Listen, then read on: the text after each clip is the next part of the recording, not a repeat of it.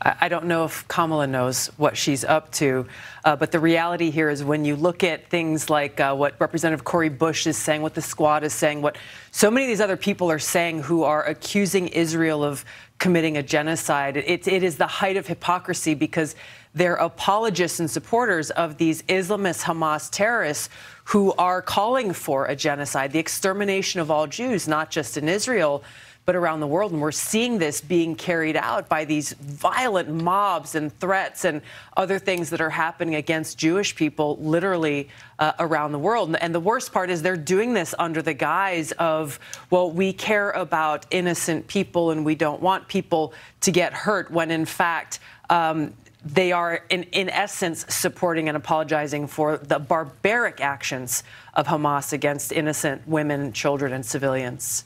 I called it creating the monster, like they're Dr. Frankenstein. And now the monster in their progressive wing is turning against them.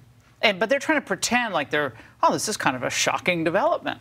It's not a shocking development. No. This has always been there, but it's also deeply anti American, is it not? it, it is, and it, it is against the very foundational principles and values of who we are uh, as a country. Uh, these Democrats, they have called people like me an Islamophobe for many years just for speaking the truth about radical Islam, about the threat that this Islamism poses to the freedom and peace and security of the American people and people around the world. Well, do you uh, believe, as do some of these Republicans in the Senate, that we should be bringing in more Afghan refugees. We brought in, what, 80, 90,000? We didn't vet, any of them. I'm sure some of them are great people and helped us in, in Afghanistan. But do we do we have 80,000 interpreters and, or drivers? I mean, I don't there, think there, so. There are, there are many, unquestionably. Yeah. But just like we're so concerned about Biden's open borders and the fact that we've got millions of people coming in who are not vetted in any way, shape, or form, who have not been checked. But they and don't share our values. To Nigel Farage's point as to what right. you're seeing in England, right? This is a, this is they say, oh, you can't call it a clash,